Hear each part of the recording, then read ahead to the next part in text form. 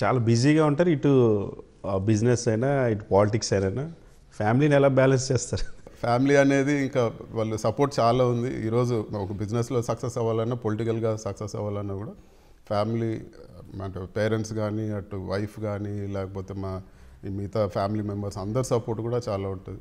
అందరూ కూడా కలిసికట్టుగా మేము ఒక మా అందరూ కూడా ఒక సపోర్ట్ ఉంది కాబట్టి ఈరోజు పొలిటికల్గా కానీ లేకపోతే బిజినెస్లో కానీ టైం కేటాయించగలుగుతున్నాం. అంటే చాలా యంగ్ ఏజ్ కదా సార్ యంగ్ ఏజ్లో చిన్నగా ఫ్యామిలీ ఎక్స్పెక్టేషన్స్ చాలా ఎక్కువ ఉంటాయి కదా బ్యాలెన్స్ చేయలేని పరిస్థితి ఉంటుంది. ఇంకా తప్పదు అంటే పి- పిల్లలతో కొద్దిగా ఈ ఏజ్ చిన్న పిల్లలు సో వాళ్ళకు టైం కేటాయించాల్సిన అవసరం ఉంటుంది. సో బ్యాలెన్స్ చేసుకోక తప్పదు ఇంకా.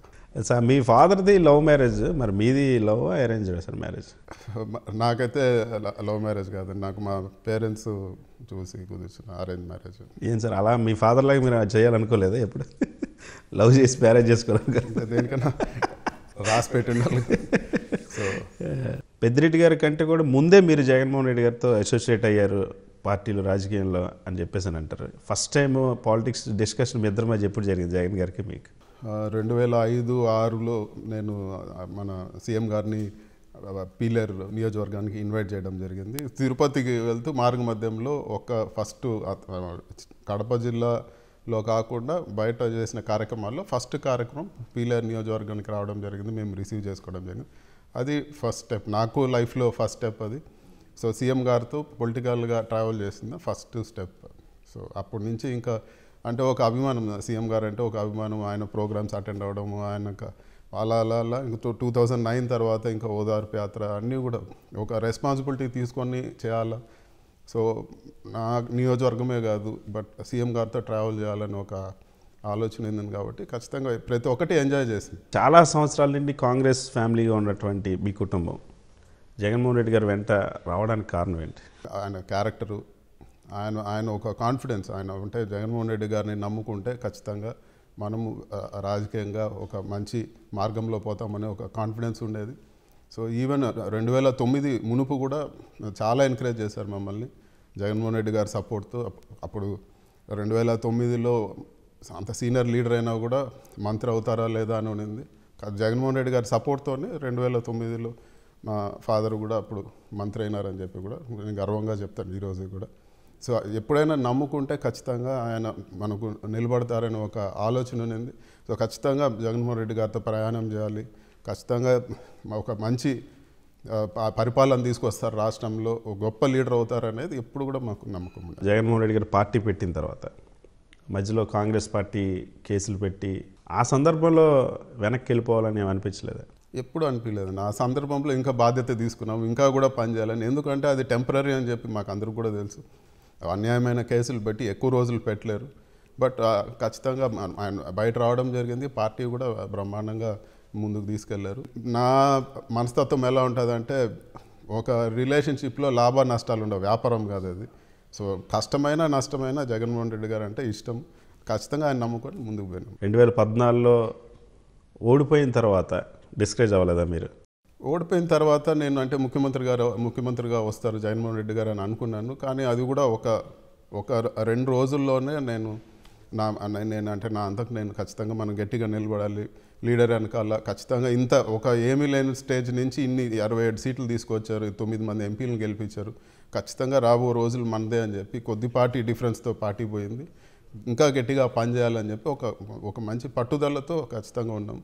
రకరకాలు అంటే పొలిటికల్ అంటే మ్యాక్సిమం అదంతా కూడా ఒక మానసిక అంటే మైండ్ గేమ్స్ అంటారు. సో సైకలాజికల్ బ్యాటిల్ అవన్నీ కూడా ఎంజాయ్ చేసినాం తరువుగా. అన్ని కష్టాలు నష్టాలతో కూడా ప్రతి ఒక్కటి కూడా లీడర్ అవకాశం ఇచ్చారు పనిచేయడానికి అవకాశం ఇచ్చినారు. కాబట్టి మాకు కూడా చాలా అంటే మనస్ఫూర్తిగా ట్రావెల్ చేసినాం. రెండు వేల పద్నాలుగులో మీరు మొట్టమొదటిసారి పార్లమెంట్లో అడుగుపెట్టారు. ఏమనిపించింది? రెండు వేల తొమ్మిదిలో జగన్మోహన్ రెడ్డి గారు ఫస్ట్ ఎంపీ అయినప్పుడు ఆయన ప్రమాణ స్వీకారం అన్నీ కూడా చూసాం. అప్పుడే మాకు అంటే జగన్మోహన్ రెడ్డి గారు చెప్పి నీకు ఫ్యూచర్లో నేను అవకాశం ఇస్తానని చెప్పి ఎంపీగా చేస్తాను నేను అని చెప్పి చాలామందికి చాలా మందికి తెలియదు ఈ విషయం బట్ అప్పుడే నాకు చెప్పడం జరిగింది. పార్లమెంట్లోకి వచ్చినాక అందరినీ కూడా చూసినాక ఒక అవకాశం నాకు సీఎం గారు కానీ కాన్స్టిట్యున్సీ ప్రజలు పేరెంట్స్ వల్ల ఈరోజు ఒక అవకాశం వచ్చింది. ఖచ్చితంగా ఒక మంచి పని చేయాలి? మా ఏరియాలో ఏదైనా ఒక మంచి యాక్టివిటీ చేయాలి. ఎంపీగా అయిన దానికి మా ప్రాంతంలో ఒక మార్పు తీసుకురావాలి ఒక ప్రజలకు ఉపయోగపడాలని చెప్పి ఒక మంచి ఆలోచనతోనే దేవుని దండం పెట్టుకొని అడుగు పెట్టాను. సో మరి రెండు వేల పద్నాలుగు నుండి పంతొమ్మిది మధ్యలో ఇరవై రెండు మంది ఎమ్మెల్యేలు వెళ్ళిపోయినటువంటి పరిస్థితి ఉంది. సో ఆ టైంలో అపోజిషన్ మిమ్మల్ని లాగాలి ప్రలోభ పెట్టాలి ఏమైనా ప్రయత్నించిందా? అంటే రెండు వేల పద్నాలుగు పంతొమ్మిదిలో అంటే ఒక సైకలాజికల్ బ్యాటిల్ రకరకాలుగా ఒత్తిడి తీసుకొచ్చి ప్రతి ఒక్కరిని కూడా మా అమ్మ నాన్న కూడా జైల్లో పెట్టడం జరిగింది. అన్నీ కూడా ఇవన్నీ కూడా ఫేస్ చేసినాం. ఏ రోజు కూడా అంటే మనోధైర్యం కోల్పోలేదు. ఖచ్చిత నాకైతే నూటికి నూరు రూపాయలు నమ్మకం ఉంది. గవర్నమెంట్ ఈసారి ఖచ్చితంగా వస్తుంది. జగన్మోహన్ రెడ్డి గారు ప్రతి ఒక్కటి కూడా అంత క్లియర్గా ప్లాన్ చేసేవాళ్ళు. ఎక్కడ కూడా ఆయన క్యారెక్టర్లో మనము చూసా చూస్తే కానీ అధైర్యపడిన సందర్భాలు ఎప్పుడు కూడా లేవు. ఎమ్మెల్యేలు కొంతమంది వెళ్ళిపోయేటప్పుడు కూడా ప్రత్యక్షంగా నేను మాట్లాడడం జరిగింది. చాలా ధైర్యంగా ఉన్నారు. పోయిన ఎమ్మెల్యేలు ప్రతి చోట నేను గెలిపగలుగుతాను మనం కొత్త వాళ్ళని డెవలప్ చేసుకుంటాము. ఇవి టెంపరీ. ప్రజలు మనతో ఉన్నారు. వీళ్ళు వెళ్ళినా కూడా మనకి ఇబ్బంది లేదని ఒక ఆయన ఒక మంచి ధైర్యంతో ఉన్నారు. జగన్మోహన్ రెడ్డి గారిని నేను ఇష్టపడేది కూడా ఆయన కాన్ఫిడెన్స్ ఆయన ధైర్యం ఖచ్చితంగా. ఆయన్ని చూస్తేనే మనకు ఒక కాన్ఫిడెన్స్ వస్తుంది. మనకు కూడా ఒక ఫ్యూచర్ పైన ఒక నమ్మకం వస్తుంది. సో ఎప్పుడు కూడా పద్నాలుగు పంతొమ్మిదిలో నేను ఒక అవకాశంగా భావించినాను. సో ఇది టఫ్ పీరియడ్ సో నేను లీడర్కు దగ్గర కావాలంటే నేను ఇంకా కష్టపడాలి. నేను బాగా పనిచేయాలని నేను నేను ఒక ఒక అవకాశం లాగా తీసుకొని నేను అంటే నా మనస్ఫూర్తిగా ఒక ఇష్టంతో పనిచేసినాను పార్టీకి కూడా. సార్ మిమ్మల్ని ఆ టైంలో టార్గెట్ చేసి జైల్లో పెట్టించారు. ఎందుకోసం ఆ రోజు జరిగింది? చంద్రబాబు నాయుడు ఉద్దేశపూర్వకంగా చేశాడు అనుకో. ఖచ్చితంగా ఇది చేయని నేరానికి కేసు పెట్టి కావాలని జైల్లో పెట్టి ఇవన్నీ కూడా అంటే అప్పుడు కొన్ని వాళ్ళు సక్సెస్ఫుల్గా చేయగలిగారు. ఇప్పుడు భూ- ఆ భూమా నాగిరెడ్డి గారు కానీ లేకపోతే ఇతర లీడర్స్ పైన కేసులు పెట్టడం వాళ్ళని పార్టీ మార్చుకోవడం ఇవన్నీ కూడా జరిగింది.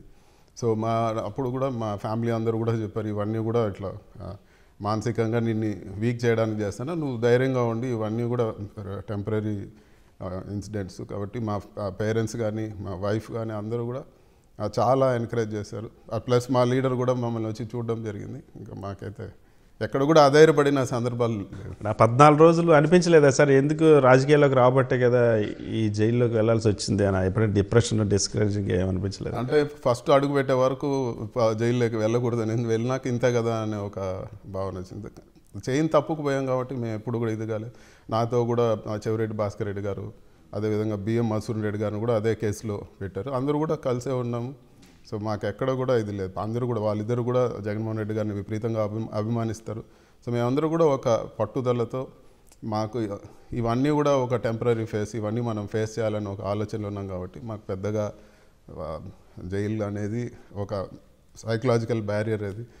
సో ఆ మనకు ఆ ఆలోచన లేనప్పుడు ఇబ్బంది ఉండదు.